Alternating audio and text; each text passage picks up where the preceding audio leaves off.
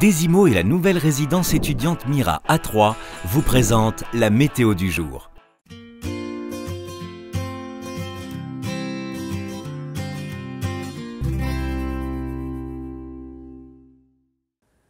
Bonjour messieurs, dames, ravi de vous retrouver pour ce nouveau bulletin météo. Et à l'approche de votre week-end, nous allons retrouver progressivement des conditions météo de plus en plus calmes avec cet anticyclone qui devrait s'installer. Alors attention, c'est vrai, des éclaircies, même si on n'est pas à l'abri quand même, malgré des hautes pressions, d'avoir quelques nuages. Ces nuages très localement pourront amener de faibles précipitations, notamment en deuxième partie de journée. Dans la matinée, ces précipitations, vous voyez, resteront assez localisées. Des éclaircies sur l'ensemble du territoire, mais surtout l'information météo, j'ai envie de dire, principale pour cette journée de vendredi, mais également au cours de votre week-end. Ce sont ces températures qui vont littéralement chuter. On repassera même localement en dessous des normales de saison. Alors pour ce vendredi matin, vous le voyez, le mercure sera compris entre 11 et 13 degrés. 11 degrés pour Vitry-le-François ou encore pour Chalon en Champagne, 12 degrés à Reims, Château-Thierry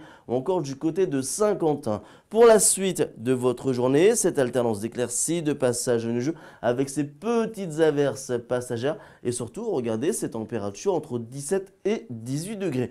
Normalement, à cette même époque de l'année, on devrait tourner plutôt aux alentours des 20 à 21 degrés. À compter 17 degrés du côté de Saint-Quentin pour Hôtel ou encore pour Charleville-Mézières, 18 degrés pour Chalon en Champagne, euh, même chose pour Château-Thierry. Samedi sera une des journées les plus froides de la semaine, alors du froid entre guillemets, hein, entre 15 et 18 degrés avec toujours ces petites averses passagères.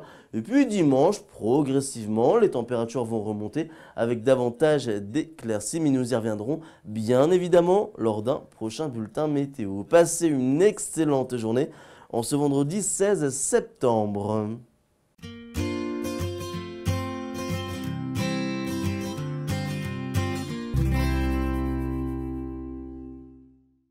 Desimo et la nouvelle résidence étudiante Mira A3 vous présentent la météo du jour.